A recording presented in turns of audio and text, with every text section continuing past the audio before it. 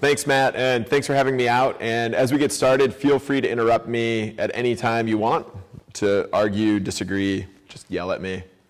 Okay? Great. Okay, um, so I want to talk to you today about a project uh, that's largely done with my now former grad student, Christian Fong, who's off to University of Michigan to be an assistant professor.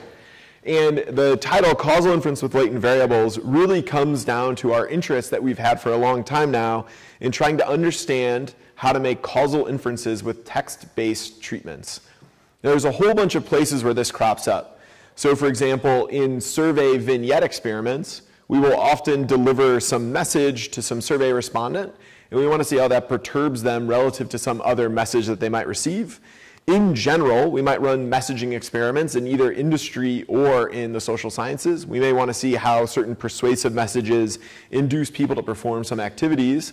And of course, the classic version of this, whether within politics or in marketing, is advertising, where we provide some message or some images to someone and we want to see how they respond to those things.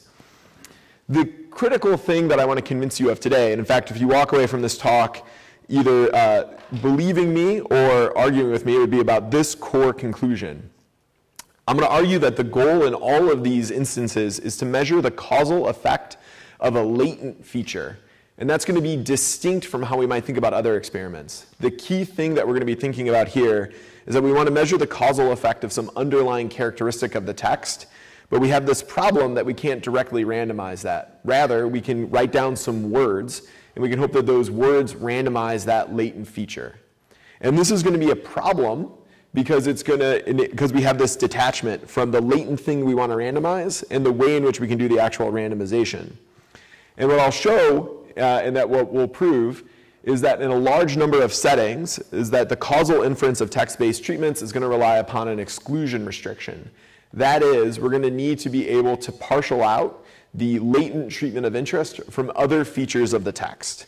And that this is going to be true even in vignette experiments. In fact, in the standard vignette experiment, we may be concerned that our latent treatment will depend upon some background text or we have varied more than just the latent treatment of interest. And I'm going to show you that we can make some perturbations to the normal vignette experiment in order to, to come up with sensitivity analyses.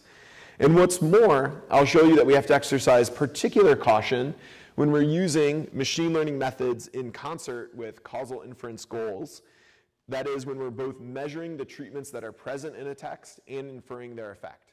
One could imagine this could come up, for example, in a campaign setting, where you have advertisements being distributed. And in those advertisements that are being distributed in the campaign setting, you may want to infer something about the topic of the ad and then see how that affects a respondent. And what I'm going to show you is that there's going to be problems that show up. The big name for the problem is going to be the very catchily titled Fundamental Problem of Causal Inference with Latent Variables. Uh, it's an improvement over the previous name for this that we had, which was called Analyst-Induced SUTVA, which was the distinctive uh, uh, marker of having uh, an abbreviation nested in an abbreviation, which is a career goal achieved. Uh, and the fundamental problem of causal inference, what's going to happen is that in the most general setting, it will leave the properties of our estimators undefined. It's not that it's going to induce bias, it's that we can't define bias. But even if we then restrict ourselves to a way in which we could define bias, I'll, I'll describe, I'll provide some intuition for evidence about why this problem could lead to bias estimators. Or if you put all those aside, you don't believe any of those assertions, I'll hopefully convince you that if we are both measuring the treatments and inferring their effect, we are in a situation where we can do fishing in a way that had never been done before. And by fishing, I mean searching for specifications that give significance uh, and therefore leading us to have misleading confidence intervals that won't have the advertised coverage rate. All right, so how are we going to address this framework? Well, I'm going to describe a, framework that Christian and I uh, advance in a, a, paper currently under review. The experimental framework is going to address these issues. So the first thing, one way we're going to address this is with a train test split, split rather than a pre-analysis plan. And this has been, uh, this idea of using a train test split within an experiment is something that's come up a lot recently in a number of papers. Um, and so we're going to use this for a number of reasons, including to increase the credibility of what we're doing and to avoid that fundamental problem of causal inference. I'll also try to convince you that even in a standard vignette experiment, and we're not quite running a standard vignette experiment, that you'll want to construct multiple vignettes per latent treatment in order to avoid those issues that I described before. And then finally, I'll explain how our framework enables the simultaneous estimation of treatments and their effect. And so the idea is that our framework is going to combine both discovery and the estimation of effects. In order to show you how this works, I'm going to apply our framework to infer the features of uh, Trump tweets that gets the public to react a particular way. All right. So why might we th be thinking about this? I think this is really part of a broader project that I'm engaged with that Matt mentioned, this book project with, with uh, Brandon and Molly. And causal inference with text is just part of what's been going on, which is an incredible interest in using text in order to make a number of inferences. And in particular, these tools have been used for measurement. Um, and the idea is that we can take text and we can reduce it down to some either latent space or clusters, and this has enabled inferences that had previously been impossible. And part of the excitement is that this brings together constituents from a number of different disciplines. I mean, look around the room, I met with a number of you today, and it's truly an interdisciplinary exercise. And the big contribution of this, I think, eventually will be in understanding the causal effects of text. But with anything, when you have these increasing interests, there's also going to be new concerns. For example, there's been an increasing prevalence of experiments, and so we might have concerns of their validity, some of which I want to discuss today in, in some related work. So one thing we might be concerned about is the credibility of experiments. That is, are the experimental results that I'm reporting truly uh, having the confidence intervals that, that I've described, or are these the result of running a number of additional experiments and re selective reporting? And I'll also show you and explain why we might be worried about extrapolation. That is, the single vignette we might run may not support an inference to a much broader set of treatments. And nonetheless, this happens a lot, and I've certainly been guilty about that in my own work. A thing that I'm not going to describe, but a thing that I think is very important to think about with experiments and thinking about validity, are concerns about how to think about what equilibrium the survey vignette is happening in. So there's a wonderful paper by Ethan Bueno de and Scott Tyson where they describe the difference between an experiment and uh, an ideal experiment and the actual experiment. And I think having this in the background is important for thinking about survey experiments in general. We'll try to be attentive to it today. Okay, so enough wind up. Let's go through and let's set the stage for what will be the running example. And then having set this running example, then we'll dive into some research about how we might do this research. Okay, so the big question that I want to try to answer today about social science work is what features of Trump's rhetoric cause a reaction and what kind of reaction does it cause? Right? This is a thing that we might care about for lots of reasons, uh, in particular because he's president and has a huge audience. We might also be worried interested in this to test theories of presidential influence. So the framework that Christian and I advance is a sort of blend of A-B tests with more traditional vignette experiments. One way to think about what we're going to be doing is that we're going to be extracting the features of a message that drive a response in A-B tests. So what do I mean by this? So just so we're all on the same page, in case you've been living under a rock, this is the primary way uh, the President of the United States communicates to the public. And that's not meant to be hyperbolic or critical, it's just a statement of fact. Got an incredible Twitter audience. So here's an example where he's imputing Adam Schiff, a member of Congress, and lumping in with a group of other people who have been critical of Trump. All right, so how might we begin to think about reactions to Trump tweets? So have, uh, living in Silicon Valley, this is if I walk down the street and talk to an engineer, this is what they would tell me to do. They would tell me to run an A-B test. The A-B test might look something like this. Tweet one would be a classic, perhaps the best tweet the president has ever sent. It is trolling on so many levels, it should be in a museum. He says, why would Kim Jong-un insult me by calling me old? when I would never call him short and fat. Oh well, I try so hard to be his friend, and maybe someday that will happen. It's just, anyways. On a lot of levels, you know? Okay, and then I want to compare this with tweet two that he tweeted out shortly after Steve Bannon left his administration, where he says, Steve Bannon will be a tough and smart new voice at Breitbart News, maybe even better than ever before. Fake news needs the competition. Okay? So here is a, a, comparison of tweets. What we might do if we were working in industry is we might randomly assign some people to retweet one and then other people to retweet two, and then we might assess their reaction to those tweets. Um, and we might even then be able to optimize the tweets that we'd want to deliver to do something like increase engagement or view other political behaviors. So if we observe those differences, not in biographies, but in the tweets, uh, we can make an inference and we can even maximize, like find the tweet that gives us the best response. But of course, this is the problem that makes it very difficult to generalize to the underlying latent features of the treatment that drive the response. Right? So that's one component of an A-B test, but it makes it hard to know what is it about the message that leads people to have a particular response to that. Here's a second thing that we might do, which perhaps is the most obvious thing to do if you're thinking about a document term matrix and text data. So in um, the first tweet, we might leave this word fake in. And in the second tweet, we might delete the word fake. And then we might run an experiment where we randomly assign some people to read tweet one, and then assign other people to read tweet one prime. And we might observe the differences. And so this is about the causal effect of a single text. Everything. Yeah. Just gonna adjust the mic a little bit. Yeah. Okay, sorry. No, no, it's good. It's a great talk. Thanks, Matt. It's the kind of like mid-talk affirmation that I really strive for. it's like the inverse of an econ talk, where they like tell you that you're a bad person halfway through. Yeah. Okay. So again, the setting here is that we might just want to change one word. Uh, and the thing that I want to push you to think about is that it's definitely true we could change one word, but often it is the case that we are, that we are not interested in varying just one word. In fact, I'd say it's rarely the case that we're interested in, in varying the effect of just one word. Rather, we could note that these two tweets deliver very similar messages regardless of whether Trump calls the, the news fake news or not. And what's more, even if we vary just that one, one word, we should be cognizant that the variance of that one word will be highly dependent on the background text. And by that, I don't just mean that fake is modifying news, but I mean that there's a surrounding context to that, that tweet. And so one could imagine that you could get very different reactions depending on who Trump is calling fake. So, for example, the other day, he was highly critical of Fox News and its polling unit. He didn't call it fake news, but he was very skeptical of what they're up to. One could imagine that's a very different reaction that could lead, lead to a very different reaction from partisans than a similar tweet that's delivered about MSNBC, for example. Okay, so this leads us to this standard setup that we usually see in these settings. And so here we have two different tweets. The first is a tweet that Trump actually sent out. It says negotiations on DACA have begun.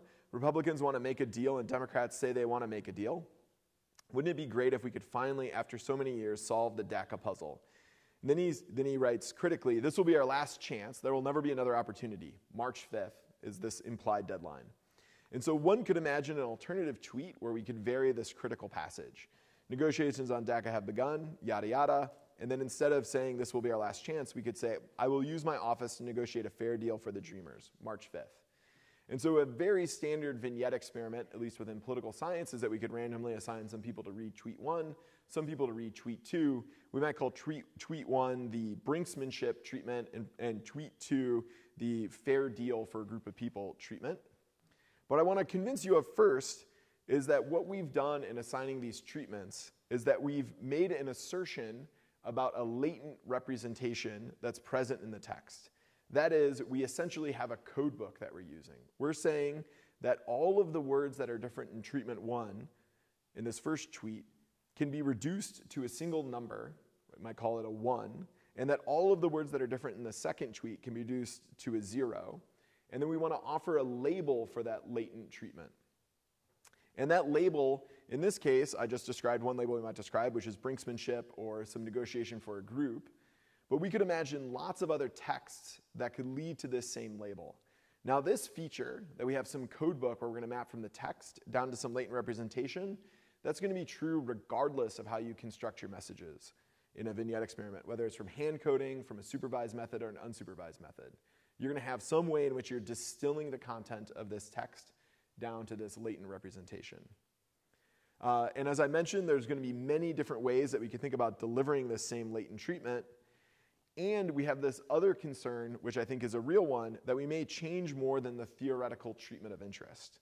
So if you look at the differences between these two, um, between these two uh, treatments, one thing that might pop out is the use of dreamers, which is largely used by Democrats, almost never used by Republicans. And this, this use of fair deal, which could provide different sentiment about what's being expressed here.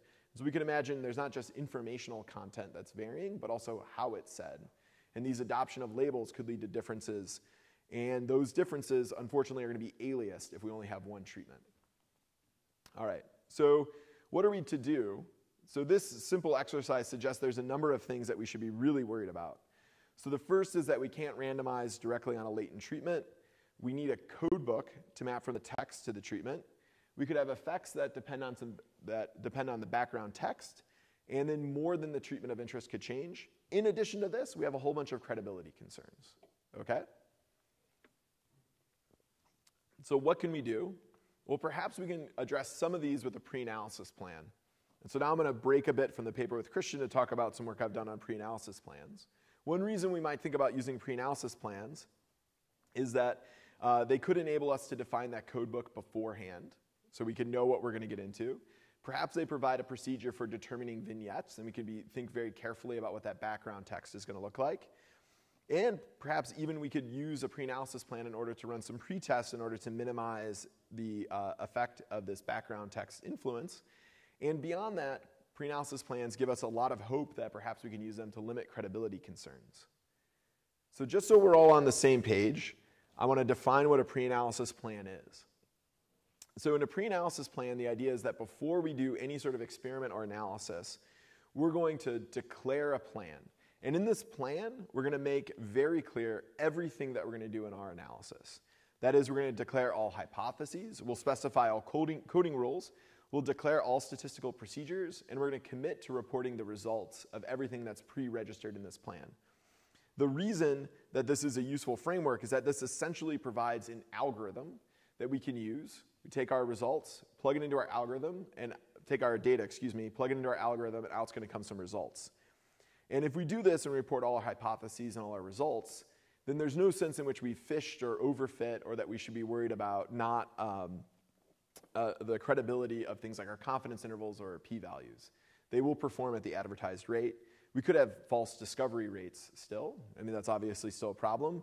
But regardless, you would not have to worry about specification hunting. And so I just want to emphasize, because I'm about to be a little critical of this, that there's nothing in what I just described here that's not an incredibly useful framework. If we adhered to this, it would be great, all right? But one question we might have is what actually happens. So this is part of some ongoing work with um, a grad student collaborator, Apurva Lal, and Jonathan Renshin. And in this work, we analyze what goes on with pre-analysis plans in two directions. We go from the plans to papers, and then we go from papers to plans. And so I'll present some initial uh, results from this work. So one direction we might go is we might go from pre-analysis plans to see what happens in papers. And so to do this, we go to EGAP. And we, uh, some initial work went to EGAP. And from EGAP, we grabbed some pre-registration data. That is, we got things like the title, link, year, and authors on pre-registered plans, where these things are publicly posted. And then we also uh, look at the content of these pre-registrations. That is, we count the number of written hypotheses and then the number of hypotheses implied by the statistical tests. Then, where possible, we hunt down the paper. And when we can find the paper, either an online working version or a published paper, we collect data on the journal, the title, whether they link to the pre-analysis plan.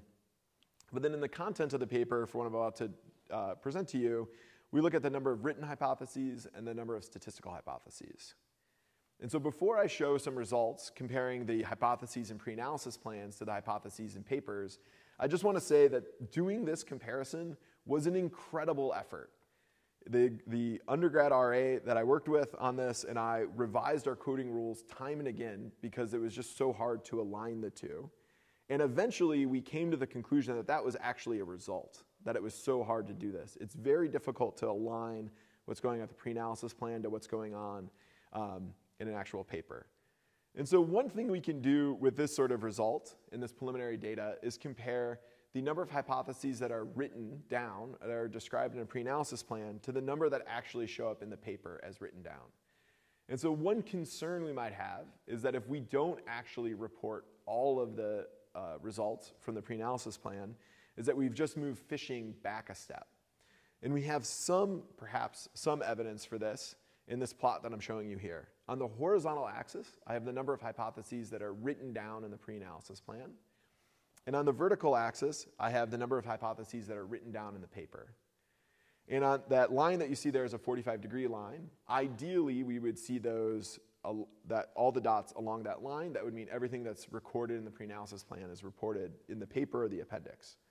What we see instead is that almost all the dots are below that 45 degree line, indicating that there are more hypotheses being written about in the pre-analysis plan, plan than are reported in the paper. Of course, this might not be the most charitable way to look at it, so perhaps there are other things we can do. So, for example, we could try to look at what's implied by the pre analysis plan. Here, things look perhaps a little bit better, although the graph can be a bit deceiving because of this one point off to the far right. So, in this paper, they did a very clear job of, our, of identifying every possible heterogeneity that they might be interested in. So, while it looks ridiculous that you might pre register 170 hypotheses. If you look at the actual pre-analysis plan, it's not that crazy. But here again, we see some evidence that there's this selective reporting happening between the, the paper, the pre-analysis plan and the paper. Okay, so we might want to go in the other direction then. And again, this is very preliminary results. And so what we did here is that we looked at the last five years of data from top journals in political science and economics. And we scraped all their content, and then we did a simple search for pre-analysis plan and variants of pre-analysis plan in those, in those articles.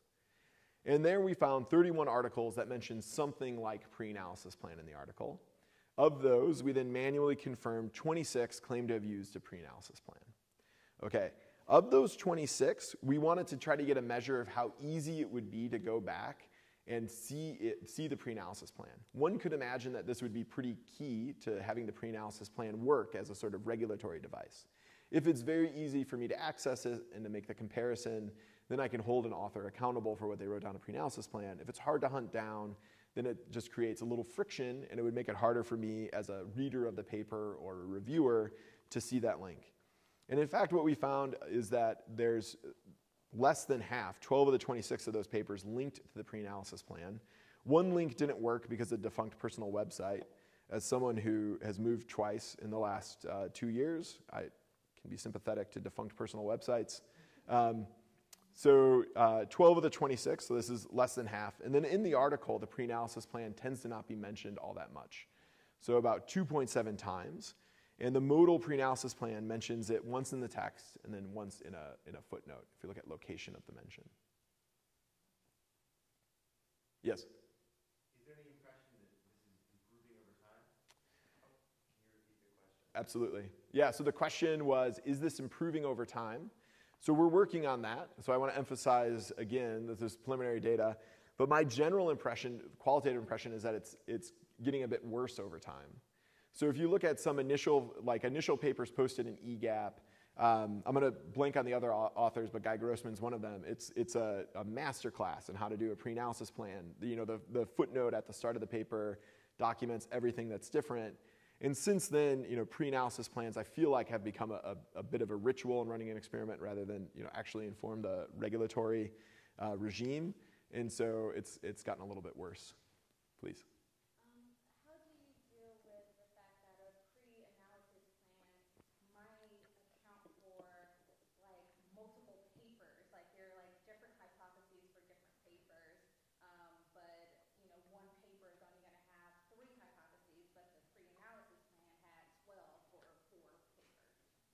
Right. Okay. So, so that is a great question. So the question was, how do we deal with the fact a pre-analysis plan could cover multiple projects?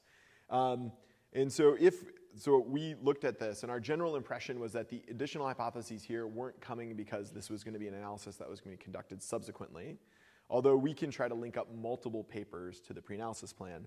That's why I think the, this direction, though, is the one that would most effectively deal with this, with the objection. If you go from paper to pre-analysis plan, then the idea is we could, we could try to figure out which um, hypotheses in the paper are actually covered in the pre-analysis plan and which component, which hypotheses aren't discussed at all, which is a separate problem.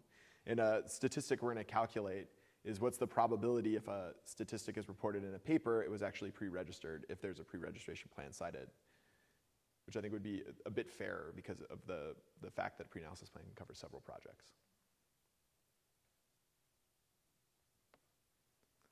Okay.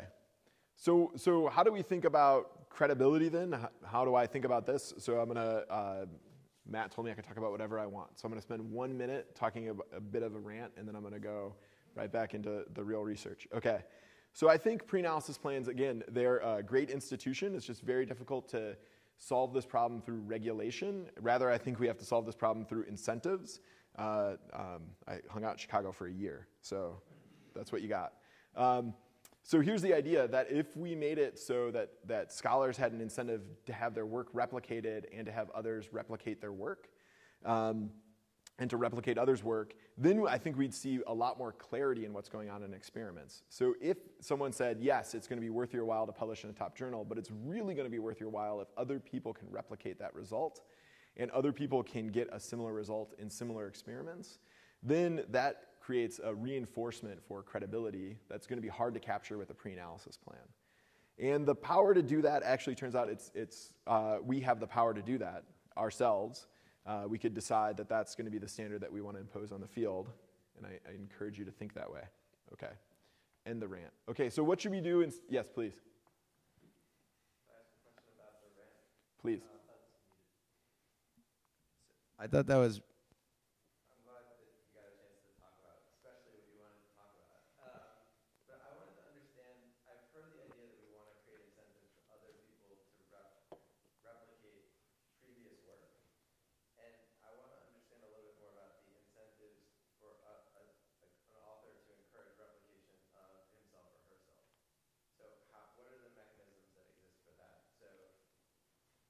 Yeah, okay, uh, so I don't have to repeat this question, right? Yeah. Um, so one, so I think we'd have to create these incentives. And so one way to create the incentive uh, would be to um, provide a reporting device on a CV to say whether a result has been replicated or not. There is a bit of an incentive now in, in if we, the journals would publish successful replications, then one would have a lot more citations of your paper if people are able to successfully replicate it. I think in a way, if you look at citation patterns, the incentive's also there already because if, a, if an experiment's relatively clear and then you can work with that experiment and extend it, more people are likely to work in that area. And then finally, I think this is a thing because we're a field that evaluates itself by and large, is a thing that people who write tenure letters could publicly declare that they're going to prioritize. They say, if you're experimentalist, I want to see that your work's been replicated. And uh, if you've made it easy for people to replicate your work, this is a thing that I'm going to declare as being important in your tenure file, and I'll you know, write a better letter. So all of those are ways in which we can create incentives. It would take a little bit of movement in the field, and in fact, a great in, uh, organization like EGAP could do that as well. Okay, so how am I going to think about this instead of a pre-analysis plan in this framework? Well, what I'm going to argue is that instead of pre, uh, pre-registering my hypotheses, what I want to do instead is when I run an experiment, I'm going to do a train test split. And so again, this is an idea that with experiments has been uh, coming up with increasing prevalence. There's been work published in political science, economics, statistics about this idea. So the way we're going to use it in our framework is that we're going to explicitly set aside a random training set for discovery. And then within this training data, we're going to use it to estimate the code book, and we'll see how we'll do that. We'll use it to determine if there are data errors, so we don't need standard operating procedures in this framework. If there are errors, you can just identify those errors. And we could assess other assumptions that might be needed for the experiment, and I'll describe some of the assumptions later. Then in the test data, you will have a single model or a single procedure that you'll use, use to estimate the data. And because we separated out the training and test set, there's no sense in which the fishing or the recoding that could happen in the training set will affect your inferences in the test set. It's a random split, and if you've truly modeled noise, then you will regress to the mean within the test set. There's a whole bunch of concerns that come up here. I want to preempt a few of them. So one is a power concern. This is the most obvious one. And so uh, I think this is, a, in general, a real concern. One thing that I would point out is that we want to try to avoid running low-powered experiments anyways, and in particular, if you have a big experiment and you get one shot at it, that experiment should be very well powered because you don't want to just rely on the unbiasedness. You want to rely upon it being consistent in that case, in which case you should be able to cleave off part of your sample in order to, to do this sort of spl uh, split. That's related to this single very expensive. And then, of course, the attentive audience member would say that I'm not making an apples to apples comparison of pre-analysis plans and train and test splits. And that's right. So I didn't criticize pre-analysis plans as an intellectual idea, I criticized it as it's been in practice. And of course, we could see similar problems with the train test split. There are ways to render it credible, perhaps. You could think about uh, having experimental data run through a particular organization and then only get to see the training data and then submitting code to run with the test set. But anyone who's uh, coordinated code from lots of people would know that would be exceedingly difficult.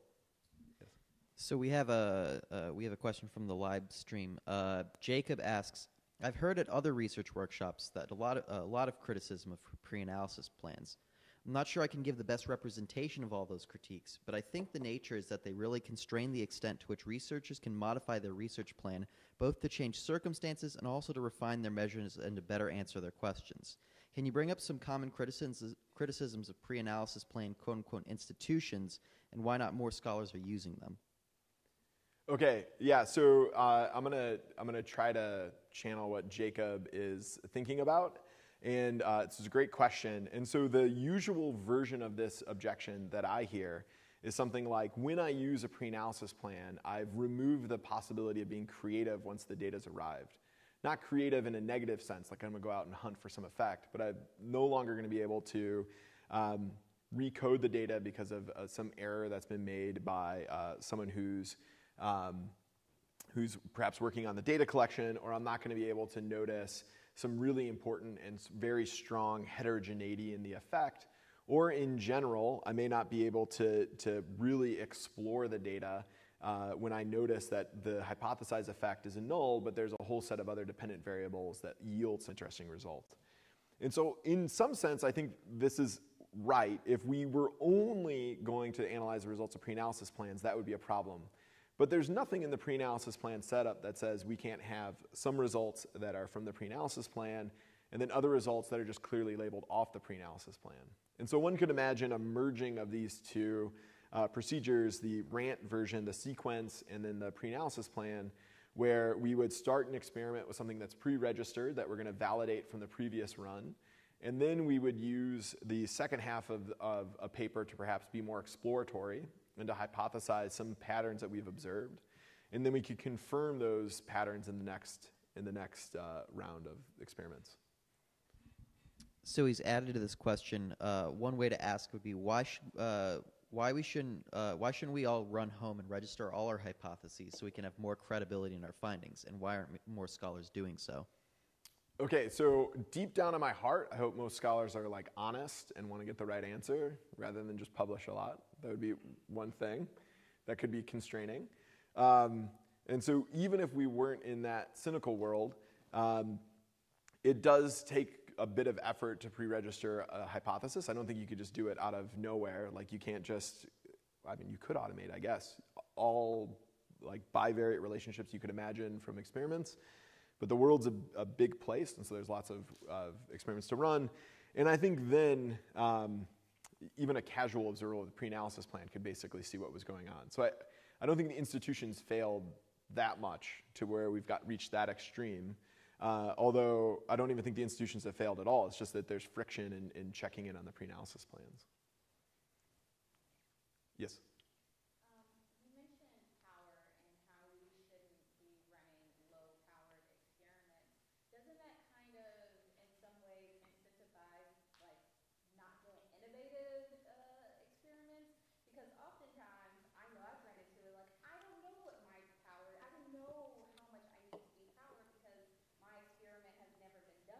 Mm-hmm. Then I find out that I'm low powered. But if we're like, you know, prioritizing, like splitting up our samples, we're going to basically just be doing something that has already been done before, so we know how many people have in our sample.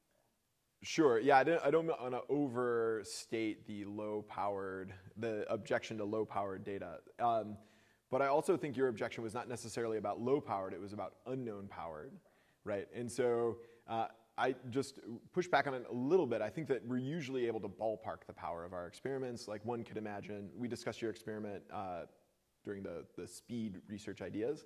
And there you could look to what other researchers have done and at least get a sense of what that power would look like. So if you had to go write a grant in order to run the experiment, you could at least give some sense of what that power would look like. Um, so hopefully this wouldn't constrain super creative experiments. And in fact, I would hope it would enable it because we don't have to be worried about uh, problems in recoding or exploring our data because we know that we'll have a little bit of data once we've collected in order to, to ensure that we're going to be able to, to credibly estimate in the test set the causal effect of interest. Okay. All right, so we're going to use this train test split, and what are we going to do? Well, instead of supposing we know these treatments in advance, what I'm going to argue in this framework um, is that what we can do is we can uh, include an explicit discovery phase in research. And with that discovery phase in research, what we're going to do is both discover treatments of interest, again in this sort of A-B test-like framework, and then credibly estimate their effect. So we're going to combine these two steps together. Uh, I'll show you that it's possible, and we'll talk about some intersections with, with vignette experiments. So to do this, there's going to be three things that I need to show you. So the first is going to be some theory.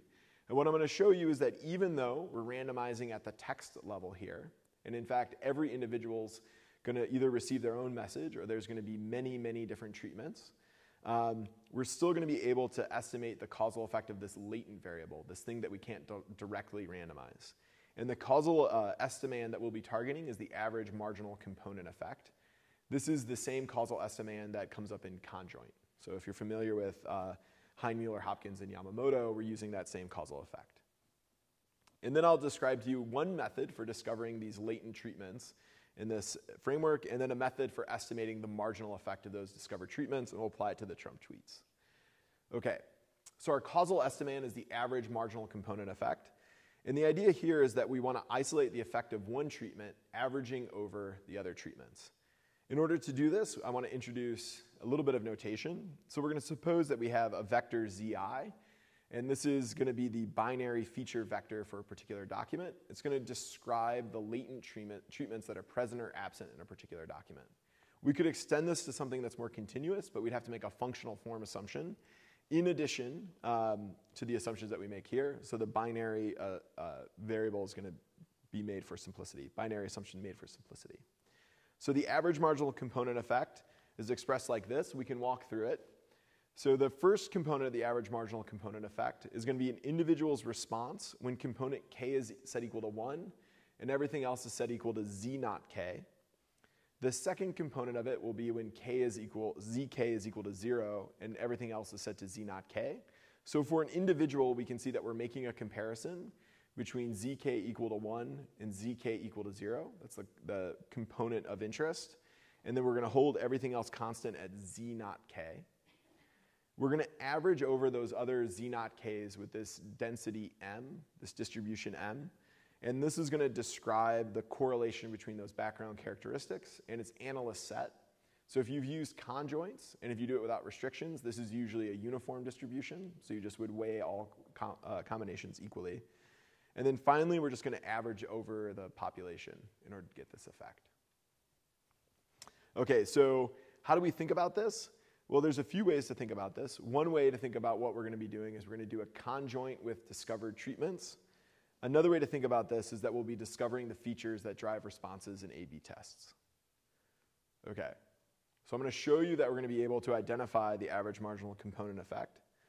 So the idea here is that an individual is going to see a text, which we'll represent as xi. I don't yet have to represent that text in the document term matrix. We just suppose it's some text that exists. And we're going to suppose that for now that we know what that code book function is going to look like. So we have some function g that maps from the x to the z.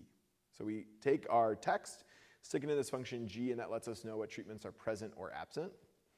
Uh, and so we can think about zi as this low dimensional representation of our text that lets us know what the treatments are. These are the latent treatments. So what are we going to do? We'll assume that there's no spillover, that is, that SUTVA holds.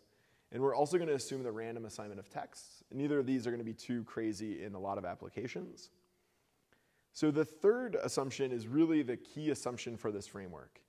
So this uh, assumption is an exclusion restriction. And in this exclusion restriction, what we're saying is that the treatment inter of interest that comes from this G, right, this latent representation, these Z variables, is independent of the other text features. And so we could think about assumptions two and three working in concert. Assumption two says we have to be randomly assigning people to texts. Like we can't infer the effect of Fox News or MSNBC based on who goes to Fox News or MSNBC on vote choice. And the third uh, assumption says that if it's the case that systematically, when we vary one, one variable g, and there's some background feature that's going along with it, we're going to conflate the effect of that, the z that comes from that g, with that background characteristic. So we have to be able to exclude everything else in the text from the latent variable of interest. And then finally, we have to make a common support assumption. And this assumption says that we're going to be able to reach all the treatments that are in the range of, of G. At first, when Christian and I were working on this, we thought this was a strong assumption, but we've come to think about it as much weaker because if a treatment is outside the range of G, that is, it doesn't occur within the documents that you observe, then it's not really of theoretical interest to vary that in an experiment. It's hard to know what you're going to learn from that in the experiment. And so the key result that we show in our paper is that uh, assumptions one to four are sufficient to identify the average marginal component effect for an arbitrary k. So what's going on here, the way to think about this is that if we know that texts are randomly assigned and we can exclude the latent feature from the background characteristics of the text, we can infer the causal effect of that latent feature even though we didn't explicitly randomize on that latent feature. So this framework, we realized in writing it up, actually applies to the standard vignette experiment. There's reasons why we could think about the standard vignette experiment within this framework.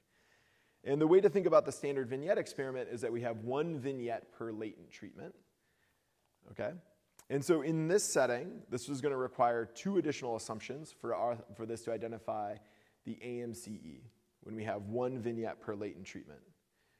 And the reason for this is that because there's no variability, there's ways in which um, we're going to be able to vary over the population of documents in the full version of our framework. But because you only have one vignette per treatment, we need to ensure that that one vignette isn't being confused with other things in the text. So the first is that there's a homogeneity effect, that the latent treatments effect doesn't depend on the background text. And that the second is that latent treatments are not aliased. That is, we're not varying more than one thing. And so one reason that you may want to include many vignettes per treatment is that this is going to enable a sensitivity analysis. So in our paper, we show that you can do relatively simple sensitivity analyses where you assess the extent to which your treatments are correlated with other features of the text. It could be like an embedding or a sentiment analysis of the text or other features of the text that you can measure.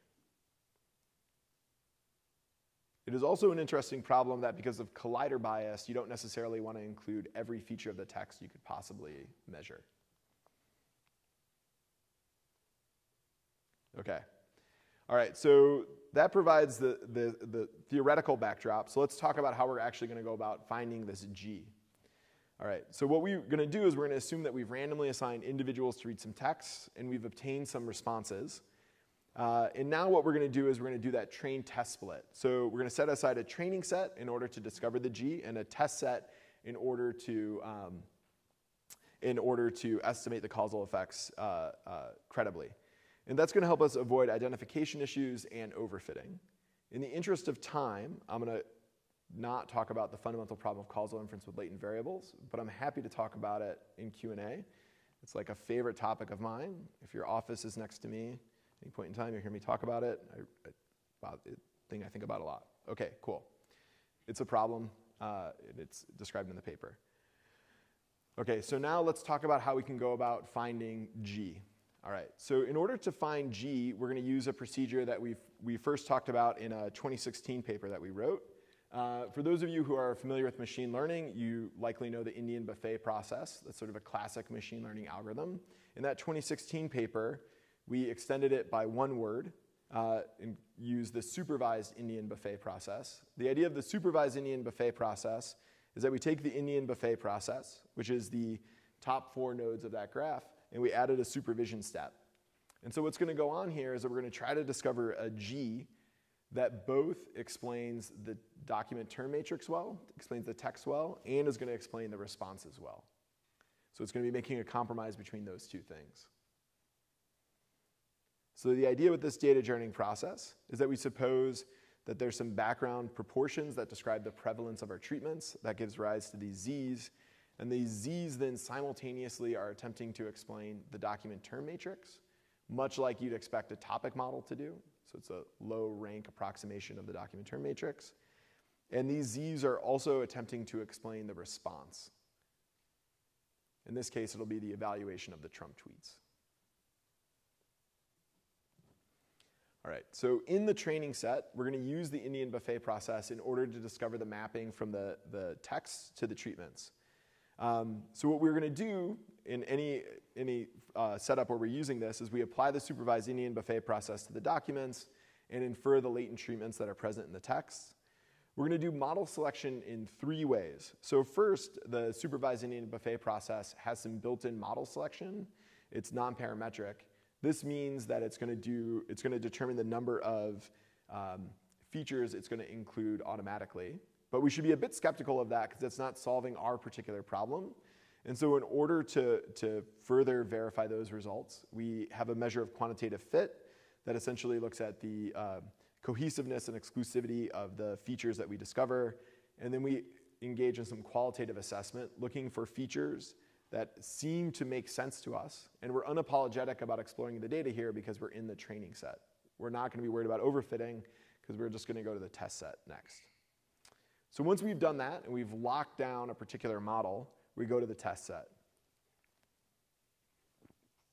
And there, we're going to use the test set to both infer the treatments that are present in those texts and measure their effect. So the idea is once we have the supervised Indian buffet process, we'll use that, we'll go to the test set texts and we'll infer the latent treatments that are present in those texts. And then conditional on those latent treatments being present, we're going to use a regression uh, in order to measure the uncertainty. Uh, uh, we have a Christina in Chicago just uh, wants to say, backing up for us non-experts, could you explain what the Indian buffet process is? Totally. Uh, okay, so th- this is like my favorite story for machine learning algorithms. Uh, so the Indian buffet process uh, comes from two people whose names I'm going to blank, but someone in the room likely knows who came up with it. No? Great. Okay, thanks, guys.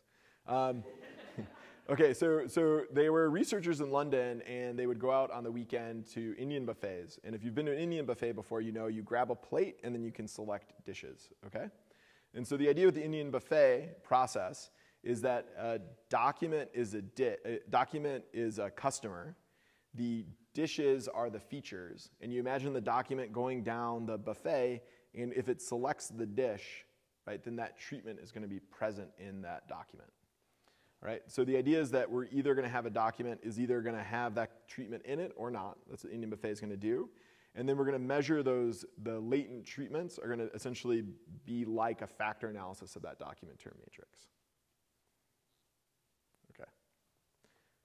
I, I hope she's nodding her head. it's hard to, you know. Yeah, I know. I got you. Yeah, no, no nonverbal cues. You know. Okay. Great. Okay. All right, so we apply this, and so again, we're going to estimate this G that'll let us know if the treatments are present or absent, and then we can use that G in order to infer the treatments that are present or absent in the test set documents. Once we've made that inference, we're basically in a pretty standard experimental setup, and we can estimate the effect any number of ways you want to. So one thing you can do is that you can just run a regression. So you regress the response on the treatments, and then you can estimate uncertainty with a, with a bootstrap. Okay. So we're going to apply this to a YouGov survey on Trump tweets. So this is uh, a survey is a lot of fun, and um, it's meant to get a sense of how the public reacts to some Trump tweets. So again, this was a motivating example here from Trump about Adam Schiff. Okay, so what YouGov did is they sent out in batches of, I believe, seven, they sent to groups of Republicans, Democrats, and independents a series of tweets. And in those tweets, they asked people to read those tweets and then evaluate them as great, good, okay, bad, or terrible. All right? then on, um, on, uh, based on that uh, evaluation, they're going to create an aggregate scale that's going to range from minus 200, everybody calls it terrible, to 200, everybody calls it great. And so what we're going to do in order to assess this, we'll work at the aggregate level here, and we'll look at the tweet level and compare the reactions of Republicans, Democrats, and independents. And we're going to modify that supervised Indian buffet process. But now we're going to enable it so that there's going to be shared treatments. So Democrats, Republicans, and independents have the same treatments in the text. But we'll enable it so that we can, when we're discovering, we recognize there could be heterogeneous effects. So the effect of a Democrat might be different than the effect of a Republican to a particular tweet. And that should help us to both discover uh, uh, treatments of interest while taking into account the differential response of individuals. In order to do this, because of that heterogeneity, we're going to lean heavily on the training set. So we put two thirds of the data in the training set and a third of the data in the test set. And we're going to cluster our standard errors by the, at the tweet level. Okay. Oh, sorry, not the standard. We're not clustering our standard errors at the tweet level. We're going to cluster this assignment at the tweet level. So we don't have uh, Democrats seeing one tweet in uh, the training set and Republicans seeing one in the test set. So all the tweets are either in the training or the test set. And so from this, we can get a list of keywords that give us some indication of what's going on in those treatments.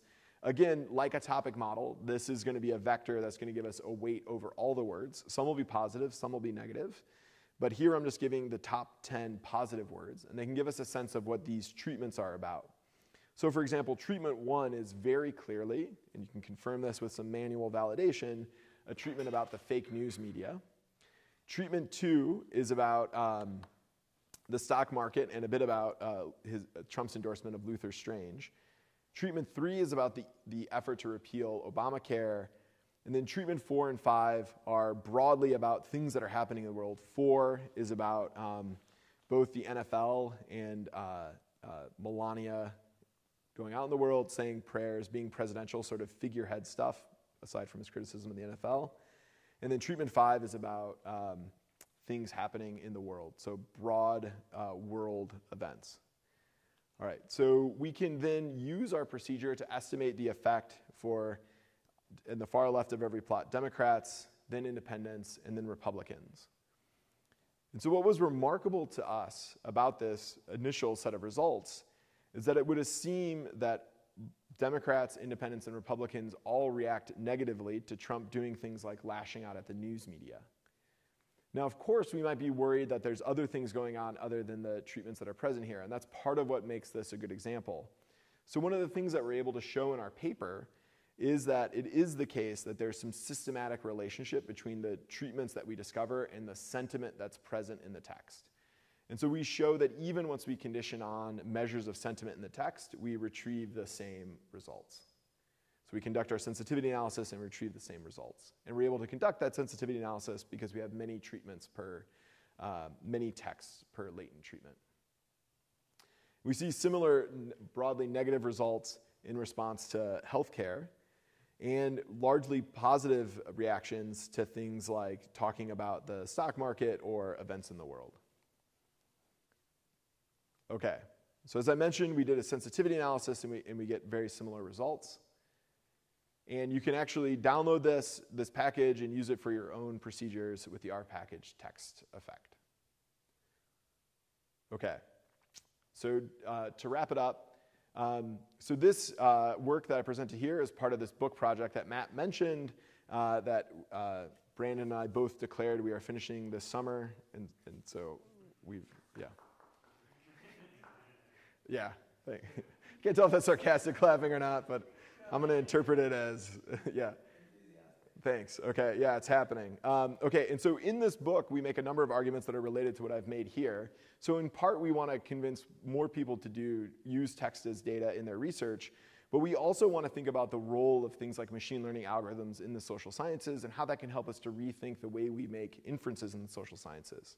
And so what we advocate for in the book, and what I've hopefully spent a little bit of time advocating for here, is a sequential and unapologetically inductive approach to social science in a contrast to the usual deductive approaches.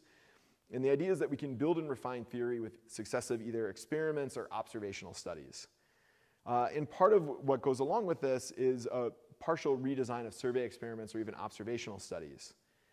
And then the final thing that I want to suggest, and a thing Matt and I discussed earlier, is that one needs a great deal of caution when combining machine learning and causal inference methods. Now, this can range from the subtle issues, which I didn't get a chance to discuss, like the fundamental problem of causal inference of latent variables, all the way to the obvious thing. Whereas if you're measuring your dependent variable and then assessing its effect, your, in the same study, your potential for fishing goes through the roof relative to what other studies can do.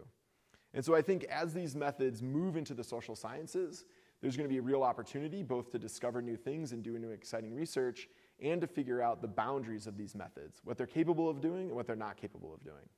So thank you.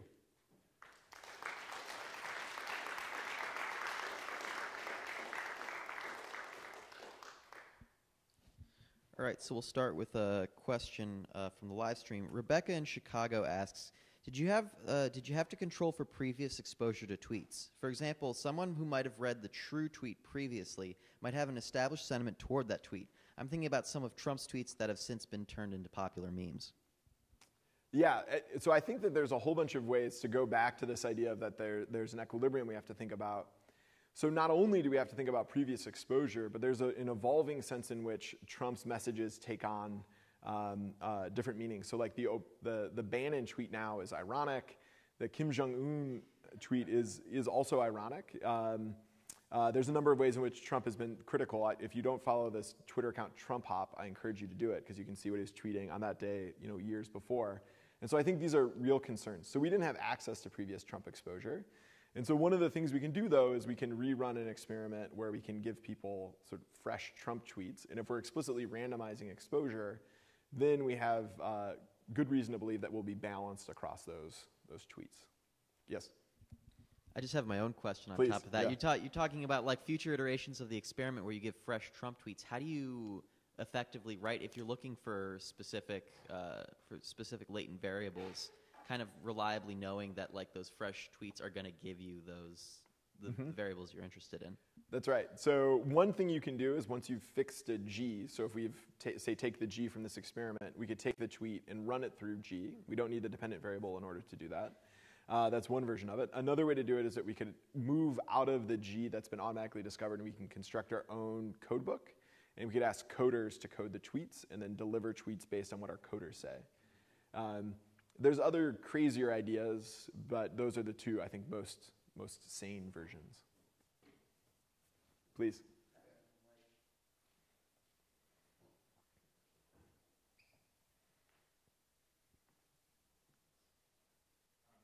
So I'm wondering to what extent uh, you could use these tools in cases where uh, participants like generate text. So I'm thinking of either Jenny, or sorry, Jamie Pennebaker's research, where uh, they're interested in linguistic features that mediate um, depressive symptoms, or in Travis Riddle's research looking at um, self-affirmation exercises. Do you feel like similar methods can be used to de- determine what are the linguistic features that mediate those um, beneficial effects, or is it different because it's a person who's generating the text and not that it's the same sequence? This is a great question. So, how do we think about mediation analysis, where the mediation occurs through through text? Um, okay, so so likely there are, there are a similar set of features or uh, algorithms that could be used in order to discover these latent features. I think we'll need even stronger assumptions beyond the ones that we made here in order to sustain the mediation. But one could imagine similar assumptions are being made if you're already using text to do a mediation, and we could still learn interesting things even if those assumptions are strong. Uh, and so I think that that's a possibility. We haven't done any of that work yet, so I'm not quite sure what those experiments, I mean, what those assumptions look like.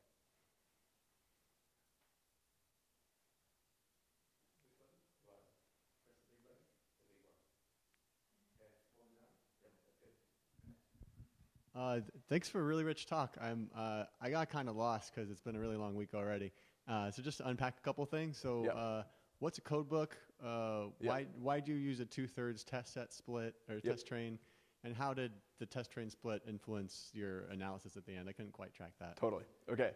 So the first thing, what's a code book? The idea there, the code book is just like you could imagine a code book if you're giving to coders.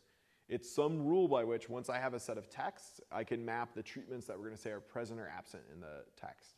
And so there's a whole bunch of things that are critical about this. So one thing is that it's not in the head of the respondent. We don't have to believe that the respondent is inferring that those texts are present or absent, just like we wouldn't have to believe a respondent's inferring those texts are present or absent if we've declared what the treatments are in, a text. Um, okay, so that's the code book, and we're going to discover it automatically. We did the two-third, one-third because we were really worried about this heterogeneity issue. And so because we were worried about the heterogeneity issue, we wanted to be able to discover uh, uh, treatments even though they varied by uh, group. And so we were worried that we wouldn't have the power to discover these treatments in these relatively short tweets. And so that, that's how we ended up with two-third, one-third. We're still very much in the dark on how to do power analysis when we're running this setup, even though we've done it a ton now. And so if anyone has any ideas, we'd, we'd love to hear more about it. Um, and then the train test split was really crucial because in the training set, not presented here, it was Christian and I beating up the data, arguing with each other about what the, the treatments meant, and then like reading the text deeply to make sure that we understood what those treatments were. And then we locked it into place, and then we went to the test set. But so like like that was like not pictured as like months of agony, not months, but like a long periods of agony between Christian and me. Is, it fair to say you generated your code book on the training data? And That, th- that's exactly right. And yeah. then applied that and, and into those, and that's what the graphs we see are doing. Exactly. Yeah, and so and so if you think about like analogs to this, so to be in there's a whole bunch of analogs to what qualitative researchers are already doing. So I think this is an instance where quantitative researchers are sort of behind the behind what's going on qualitatively. So there's of course grounded theory, which is explicitly inductive, and the notion of, of generating code books using some some prior sample and then going to the next sample is a thing that's well grounded in a number of qualitative settings, in some survey settings. So we're just moving it here into this machine learning setting. Thanks. Um, like, have you think about how your framework can be like linked to uh, places other than text? Like, because in essence, it's about uh, you have high dimensional observ- observable, but the treatment itself is latent. So maybe like you have many IVs or something like that, and but the, the real treatment, uh, the IV is like a proxy for the real treatment, but you don't really know about the treatment. So I, I think there's there are still many um, like spaces that, that can extend your framework to to like future future directions there. Yeah, so I think uh, you know one obvious one is images, which image experiments are really difficult to do, and it's hard to know that you vary just the, the component of the image of interest rather than you know many other things when folks are presenting different images. So some of the best experiments try to limit that, but then you have to be worried about this extrapolation. So images is, is one, but one could imagine in settings where you have on the right hand side a lot of data. So it could be like roll call votes would be like one example, or characteristics of the district if you're thinking about the effects of gerrymandering. And in these instances, uh, you may want to infer something about these latent treatments. So you could use this like very similar framework.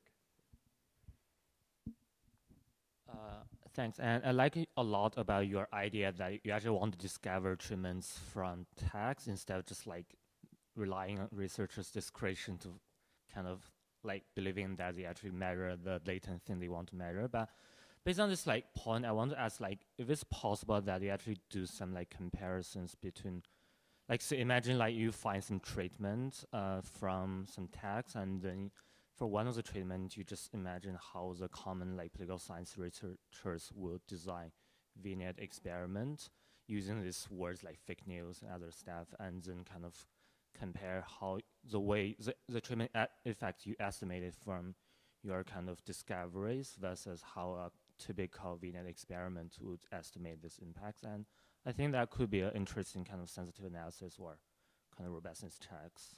Yeah, I agree 100%. So ideally, we'd have a subsequent experiment where we've taken our code book and then we run it, uh, a, a randomly assigned tweets based on the, the treatments present. I agree.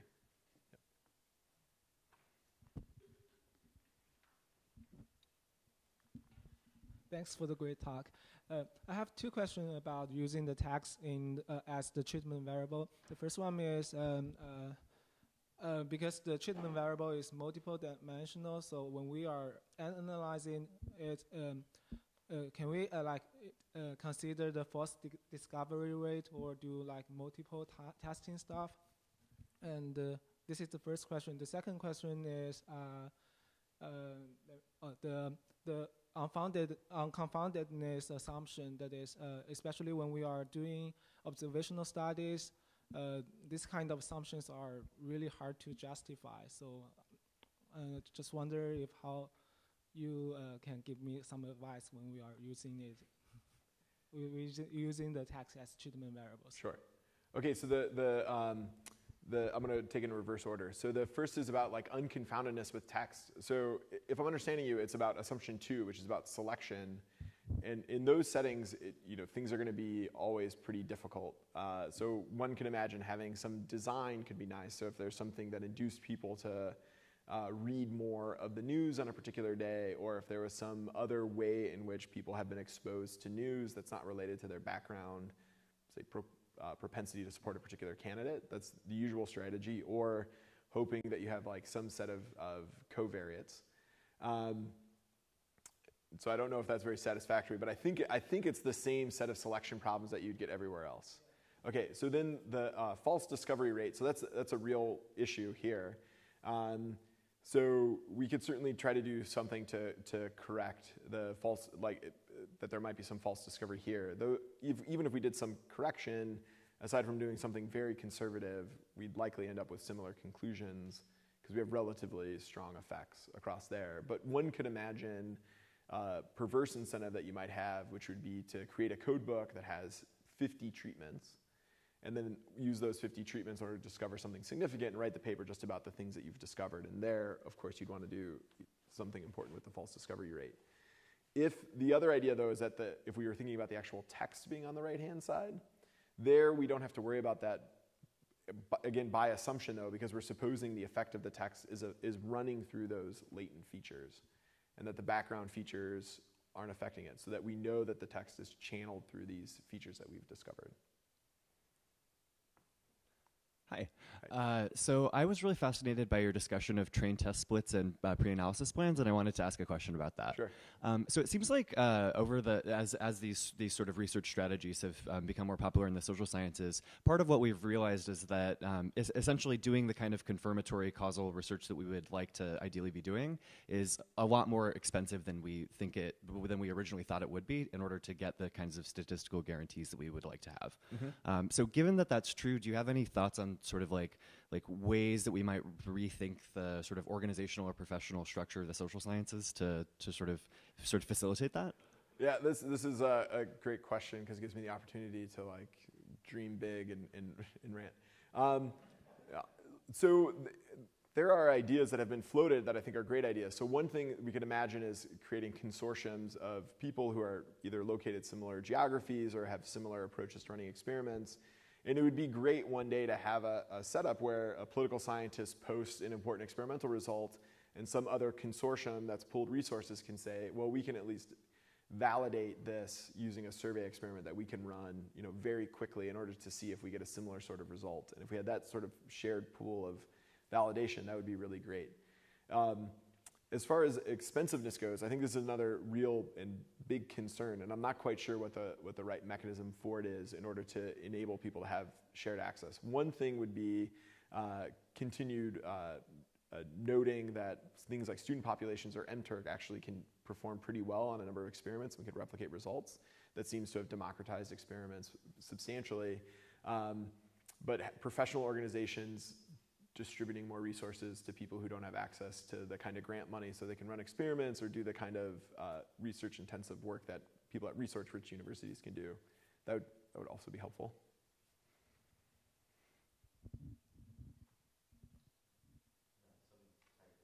Oh, okay.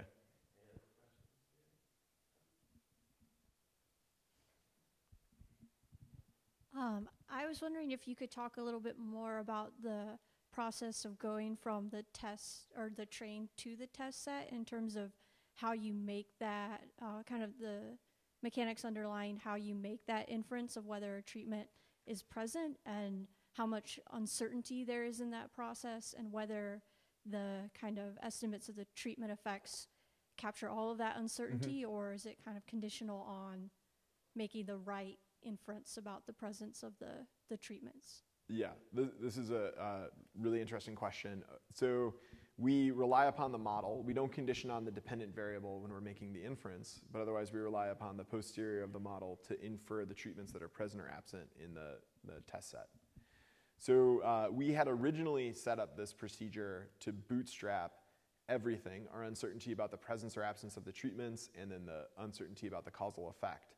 It was pointed out to us that if we did that, if we included the uncertainty from inferring the treatments, that we could violate the definition of a function, and uh, that wouldn't be a very good uh, thing in this particular in this particular setting. Um, and so we have, for that theoretical reason, we no longer include the uncertainty from inferring the, the treatments.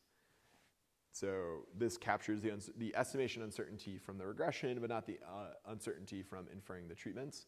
And so uh, in this case, it, I don't think it matters particularly a great deal. Things seem to be pretty precise in our inferences, but one could imagine that if you're 50-50 on some inferences about documents, then it could matter quite a bit, particularly if those are high leverage documents.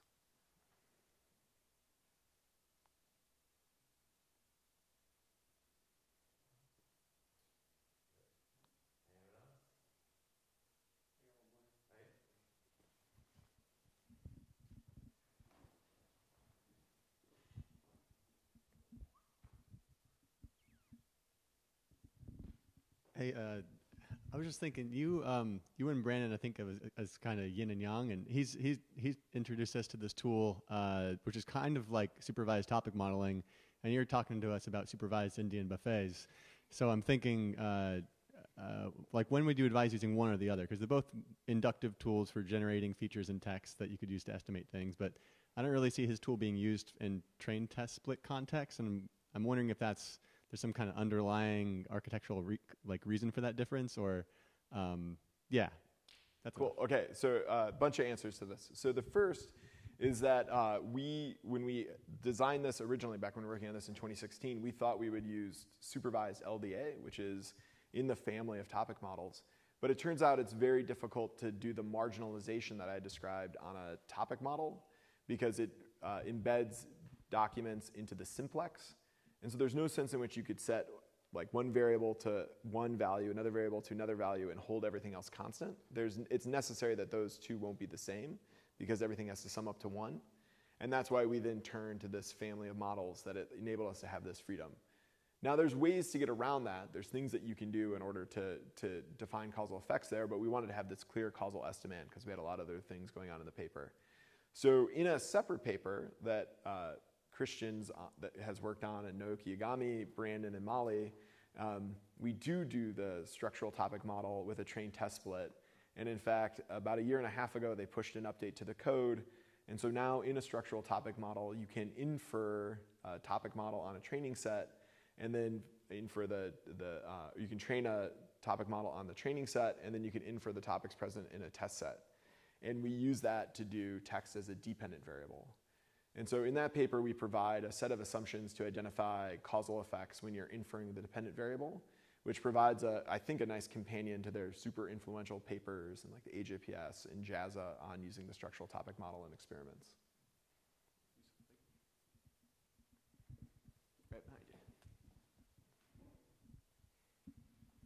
Um, thanks for the great talk.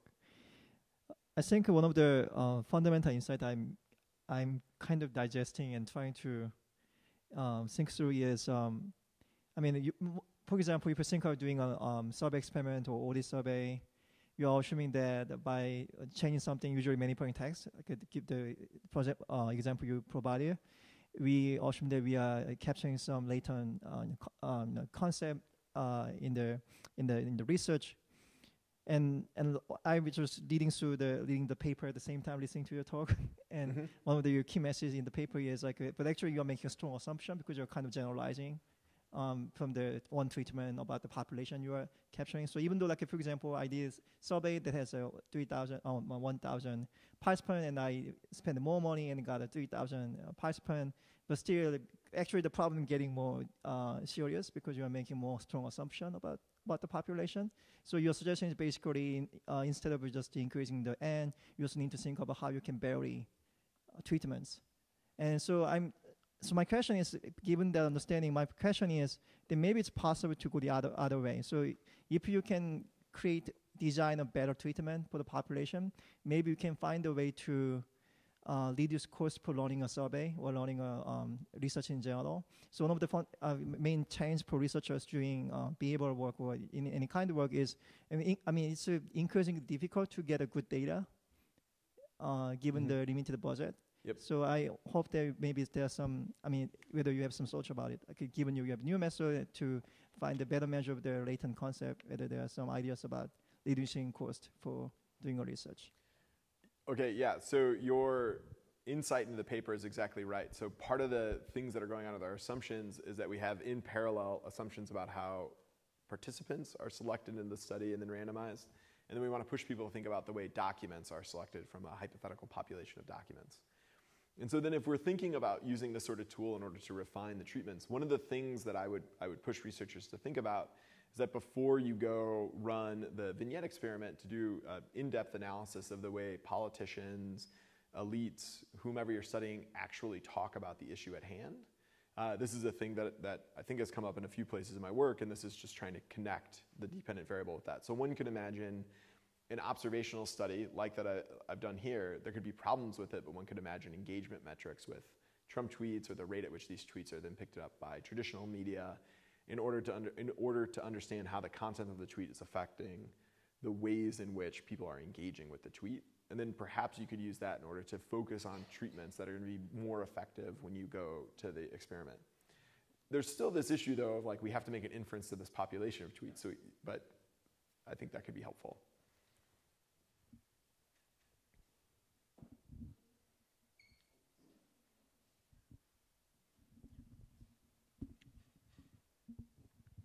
In some ways, I guess you kind of um, started answering my question by referring to this as observational um, research. Um, but what I was wondering is like, what was the the control? But I guess Yeah. if it's not an experiment, but we're talking about causal, and so I'm used to there being a control when I'm talking about treatment. So what is the control? Yeah, okay, so this is one of the trickier things about this causal estimand. So the control here, for example, for treatment one, the control is just when treatment one is turned off.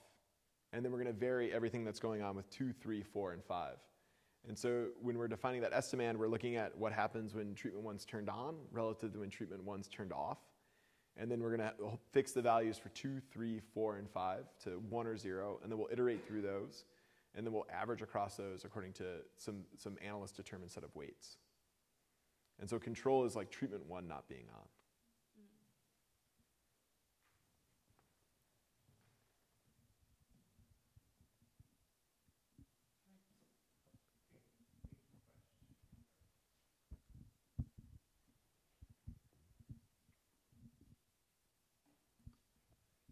A big movement of the microphone for like a very quick question. Uh, and what is the control in the YouGov survey? Like my my what I think I didn't get exactly like how you move from the treatment in the original survey to your estimation of the like the treatment, the latent treatment. Yeah, this is, this is a really critical uh, point that there's no traditional control here. So if we're thinking about uh, a control for any one of the treatments, we're making a comparison to when the treatment's turned off. And so when we're running an experiment like this, everyone's getting their own treatment, and no one is getting an explicit control treatment. Rather, we will then infer that there's a control when the treatment's off. And so everyone's being exposed to a message, we're just making this on-off comparison. And so just to finish the thought, if, if things are highly interactive, then uh, there could be a lot of reasons why you'd expect uh, effects to vary depending on the background features. If things aren't super interactive, if the response to treatment one doesn't depend on the prevalence of everything else, then this, this linear model we estimated should do a pretty good job.